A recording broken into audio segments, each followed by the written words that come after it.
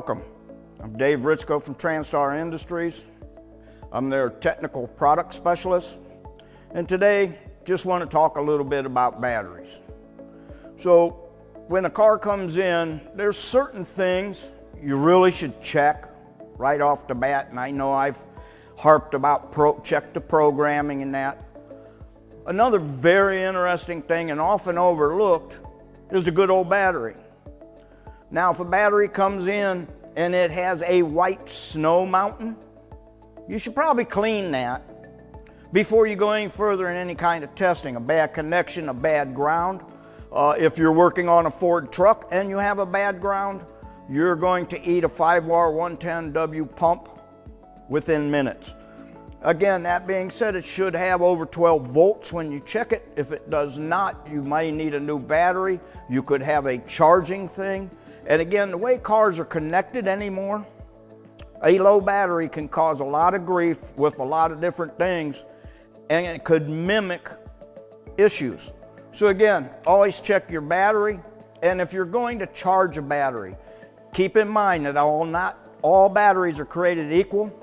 They have glass mat batteries, they have closed cells, and again, they take different types of charge. So you got to watch if you charge a glass mat too high a voltage, you could fry the battery. Some batteries even require programming when changed to the vehicle.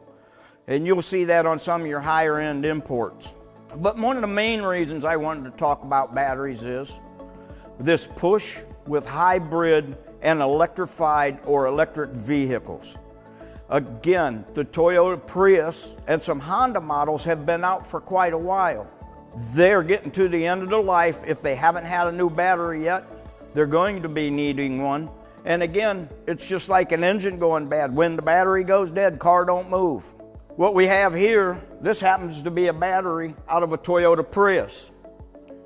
It's not that bad of a deal to change these. Now, one thing I do want to, I like kidding a lot and I joke a lot.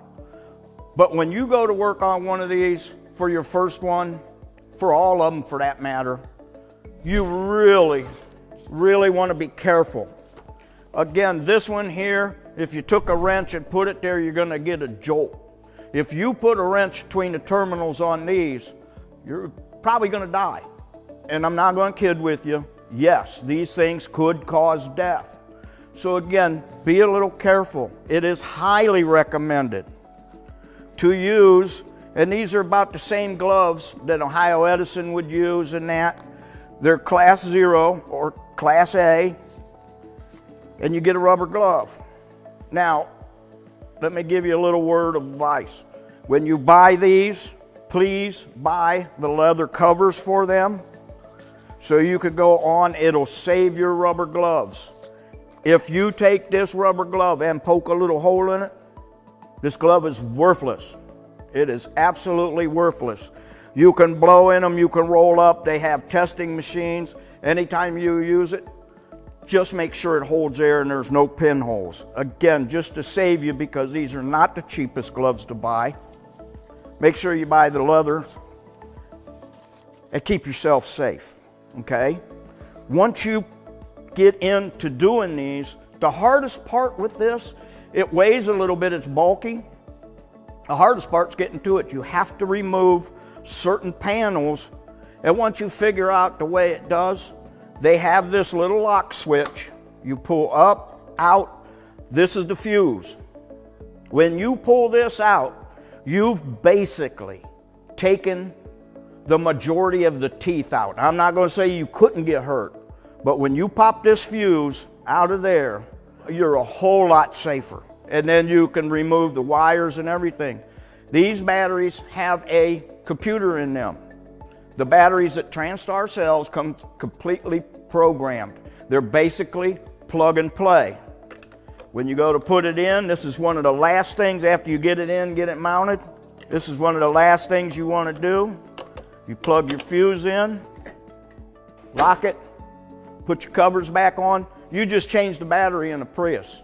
It is a little bit more cumbersome than changing one of these, but if you've lifted some hoods and see where they put these, this might be easier to do. So again, If you're not doing it, uh, why not? There's a lot of Priuses on the road. It's pretty simple money, and they're all going to need this eventually. So, again, if you're not doing them, you should.